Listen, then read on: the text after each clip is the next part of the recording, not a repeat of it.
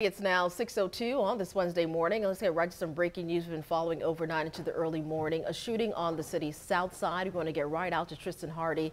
He's on scene. He's been gathering details. Now, Tristan, you just spoke with detectives. What are they saying about this shooting? Well, as of now, I can tell you that the victim is a woman in her 40s who was shot, and authorities say she's expected to be okay.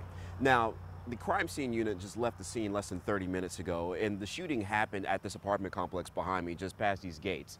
It's the Pottsburg apartment complex on the 6700 block of Bowden Road in Jacksonville's south side. Now, we know JSO says that they got the call just after 1 o'clock this morning. They say the shots may have come from outside the victim's home. They believe this is possibly a targeted situation, but they're not sure if the victim shot was the intended target. Now they're collecting evidence, they're talking to neighbors, they were talking to neighbors, and as of now, they don't have suspect information and no one's been arrested yet. But if you have any information that can lead to an arrest, you're urged to call Crime Stoppers or the Jacksonville Sheriff's Office. We're live in Jacksonville's South Side. I'm Tristan Hardy, First Coast News on your side.